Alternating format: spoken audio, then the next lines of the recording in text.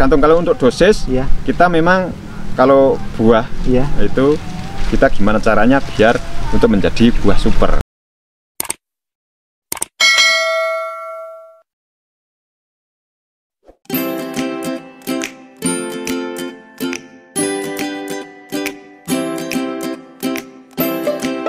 Assalamualaikum warahmatullahi wabarakatuh Selamat pagi sahabat petani semuanya Terima kasih dan selamat datang di channel Mitra Bertani TV Masih bersama saya Farid Budianto. Pada kesempatan pagi hari ini Saya berada di lahan di lereng Gunung Telemoyo Ngablak, Magelang, Jawa Tengah. Di sebelah kanan kiri saya Ini ada tanaman tomat Kapasitas 3000 tanaman Dengan tiga jenis varietas. Hal menarik yang akan kita bahas pada kesempatan ini adalah bagaimana cara budidaya tomat dengan aplikasi humid asid yang nanti berdampak banyak hingga tanaman bebas bagus ini dan yang selanjutnya nanti bagaimana tips agar buah bisa besar dan berbobot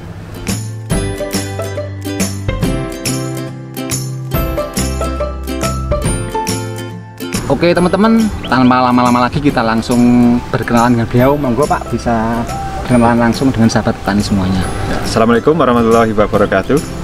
Perkenalkan nama saya Bapak Sarno Dwi Cahyo, asal Dusun Tanggulangin, Desa Pandian, Kecamatan Ngablak, Kabupaten Magelang, Jawa Tengah. Oke, terima kasih Pak Sarno sudah memerkenalkan diri dengan sahabat petani semuanya. Untuk lebih jelasnya Pak, kita akan bertanya dari awal Pak, dari pengolahan lahan. Ya. Ini gimana Pak prosesnya eh, yang Pak Sarno lakukan? Ini pengolahan lahan awal ini tidak dicangkul, Oke, tidak dicangkul cuma disemprot langsung dikasih pupuk dasar. oke, Nah itu langsung kita tutup lagi. Tapi sebelum tutup mulsa, iya, saya pakai humat demi asid iya. eh, power soil. Oke, berarti ini Pak, bagaimana ini juga ini Pak se- setelah jadi apa itu guludan atau bedengan, setelah diaplikasi dengan apa itu pupuk kandang ya Pak? Ya. Itu ini Pak, setelah jadi ini atasnya ini Pak di aplikasi humid asid ya Pak? Ya, semano kocor. Oke. Kocor pakai humi asid.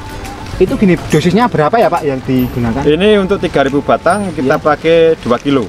Oke, berarti dari 3000 batang tanaman tomat menggunakan 2 kilo humid asid power soil.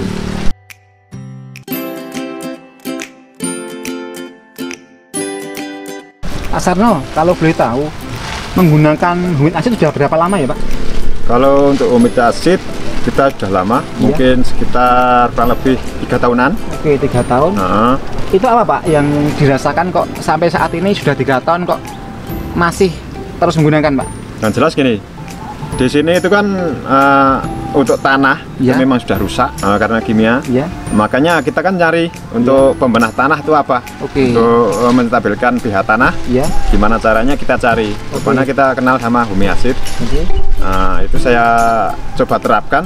Kok ternyata selama ini kita pakai hasilnya bagus. Yang jelas untuk memperbagus eh, karakter eh, tanaman Ya. eh, sekitar akar dulu. Yang jelas kan untuk pondasi tan- eh, tanaman itu kan dari akar. Oke.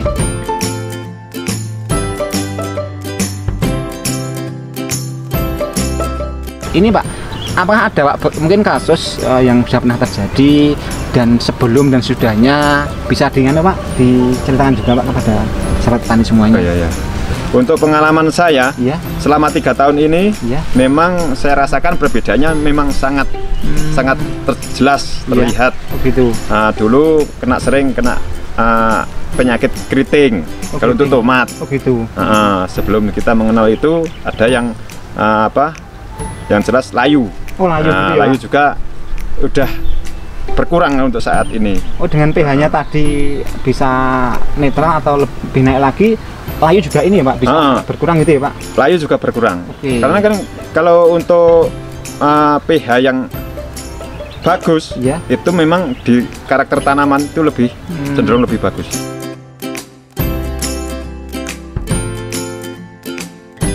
Eh, tadi untuk ini Pak, bahan aktif untuk inseknya apa ya Pak?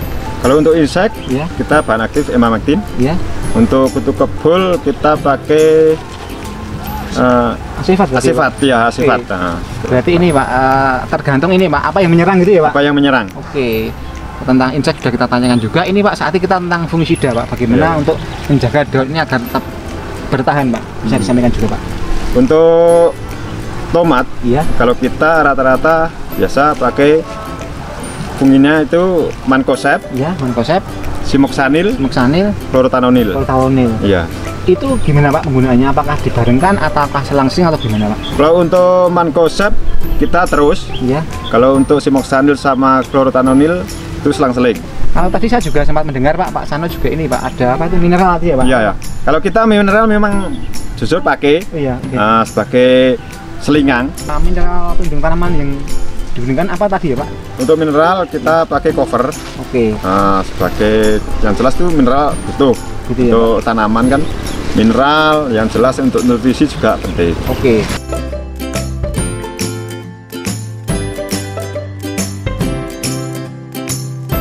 Memang Pak buahnya itu juga besar dan juga kayak mentes itu loh Pak. Kalau saya lihat ini apa Pak? Mungkin bisa disampaikan juga Pak Sarno. Kalau kita untuk di buah yang jelas kita pakai kalium. Ya, Eh, yang jelas untuk kalium itu kita pakai untuk Iya. tomat sebagai pembesar atau apa pem- eh, pengisi buah. besar Kalium. mengisi buah. Jangan lupa kita juga pakai kalsium. Oke, ya. Nah, untuk eh, apa daya tahan untuk tanaman sendiri. Oke. Tadi apa yang digunakan mereknya Pak? Kalau Kalau untuk kalium, Iya. yang jelas ini jelas eh, kalinet. ya, gitu ya Pak. Kita pakai kalinet untuk Iya. kaliumnya. Iya. Nah, kita memakai itu dari awal itu yang jelas kan cair. Kita paling senang untuk pupuk untuk tomat cair. Gitu ya Pak. Nah, kita kan untuk yang granul kita dulu pernah pakai. Iya, oh gitu. Nah, tapi kita cenderung untuk di tomat itu memang di cair. Lebih ini Pak, lebih cepat serap gitu ya Pak. Nah, kalau cair kan cepat serap. Oke. Nggak- kita apa? Waktu mudanya itu tidak terlalu lama kan. Kalau untuk dosis Pak, ini berapa tutup Pak untuk Untuk ini kalinet itu kita pakai untuk per tangki 16 liter. Iya. Kita pakai 5 tutup. Wah, banyak juga ya Pak. Kalau kita memang lebih banyak katanya dosis itu asal kita tidak terpengaruh pada eh, apa penyakit Iya. itu memang tidak apa-apa. Yang jelas gini, Iya. kalau kita untuk kalinet kalium, Iya. ya itu yang jelas kita semakin banyak kan. Kalau petani kan pengen buah yang besar, Oke. yang maksimal. Maksimal besar Nah, gitu ya Pak. Makanya kita Iya. walaupun kita dibilang overdosis, kadang kita segitu tidak cukup. Kalau iya, gimana caranya kita untuk tomat, kita iya. untuk buah yang besar. Kalau untuk dosis, Iya. kita memang kalau buah Iya. itu kita gimana caranya biar untuk menjadi buah super. Karena ini Pak, karena juga tomat yang dijual itu buah. Bagaimana membuat buah itu super dan dengan super insya Allah juga harga juga lebih bagus juga ya Pak. Iya. Oke.